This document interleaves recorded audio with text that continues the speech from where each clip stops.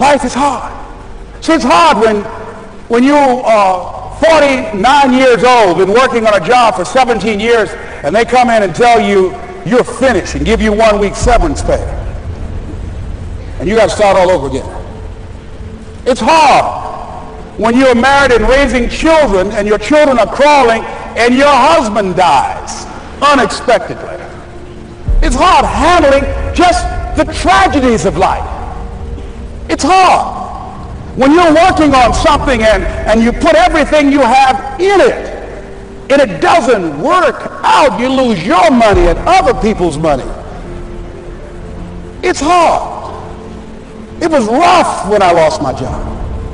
And I could not find a job. It was humiliating and embarrassing borrowing money. And then I couldn't pay the money back when I told them I would. That's rough. How people look at you. How they respond to you. It's very hard. It's humiliating. Here's what I discovered that happens to you in life, that you will go through things and while you're going through them, you can't understand why it's happening to you. But after you go through it and you get back and you look at it and you say, oh, now I understand why I needed that lesson. Have you ever happened to you? Raise your. Has it ever happened to you that, that I, did, I couldn't understand it then? But after I got through it, then I saw that that was preparing me for bigger and better things. As you go through the challenges of life and you look at it and embrace whatever comes to you, don't run from it. Step toward it. Don't try and duck it like most people do. See, most people want it easy. See, easy come, easy what? Easy go. See, but when you go at what you're going to deal with and you deal with the difficulties of it, when you handle those hard things close at hand, making those hard decisions right now that you don't want to make, learning those things that you don't like to do, but you know that in order for you to get where you want to go, this is one of the hoops that you have to flip through.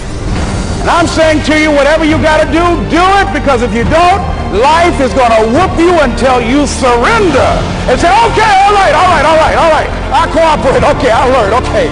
They had to wear me out a long time. So if it's hard, then do it hard.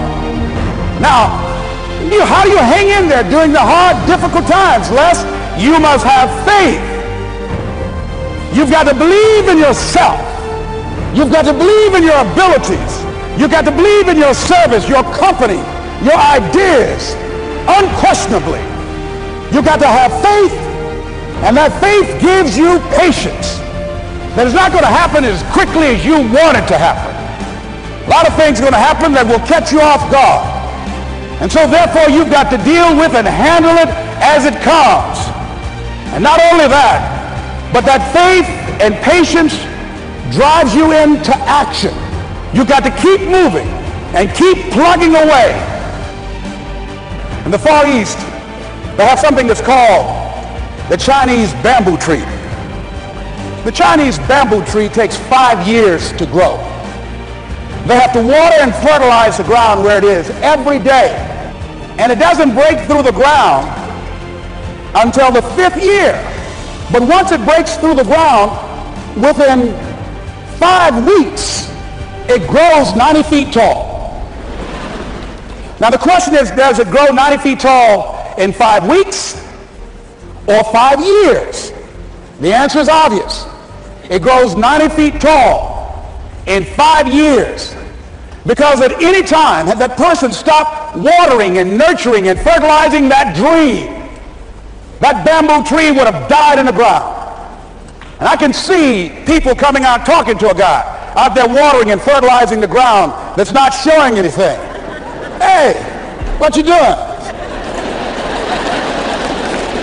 You've been out here a long time, man.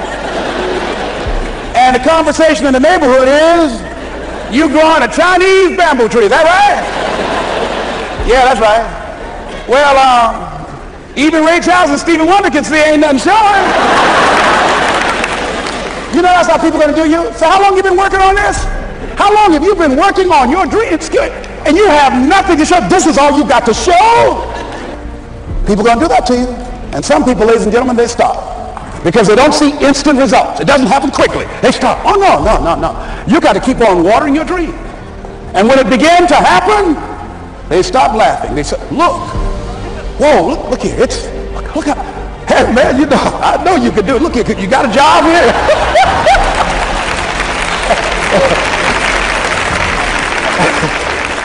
See, during those hard times, we didn't know how you're going to make payroll during those times when you fell and, and, and things didn't work out. They were, they were nowhere to be found. But know what I discovered?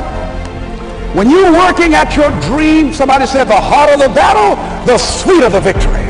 Oh, it's sweet to you. It's good to you. Why? See, when you when it's hard and there's a struggle, see what you become in the process is more important than the dream. That's far more important. The kind of person you become, the character that you build, the courage that you develop, the faith that you're manifesting. Oh, it's, it's, something that you get up in the morning, you look yourself in the mirror, you're a different kind of person. You walk with a different kind of spirit. People know that you know what life is, that you have embraced life. You knew it was hard, but you did it hard.